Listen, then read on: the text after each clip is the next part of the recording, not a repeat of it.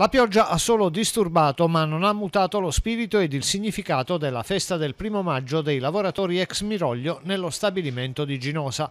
Piove, pazienza, tutti in uno dei grandi capannoni di recente acquisiti dalla proprietà all'amministrazione comunale tutti e tutti insieme, in testa i lavoratori, i dirigenti della CGL, i sindaci di Ginosa e La Terza.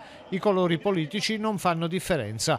Ci sono le famiglie dei lavoratori, i bambini. Questa è la festa del primo maggio diversa dalle altre e la lotta per i sacrosanti diritti senza barriere ideologiche e di appartenenza politica, unità vera, dimostrata e consolidata in anni di sofferenze. Il segretario della CGL Ionica Luigi Di Sabella. Grazie alla tenacia e alla combattività di questi lavoratori che in questi anni, in momenti anche molto difficili, passando esperienze di tutti i tipi, hanno mantenuto forte la, la loro iniziativa, la loro unità e sono stati la leva per dare ancora una prospettiva, una speranza a questo stabilimento.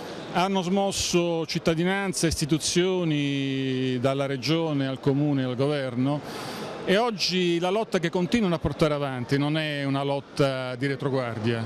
Oggi il tema del primo maggio è difendere il lavoro, difenderlo e svilupparlo.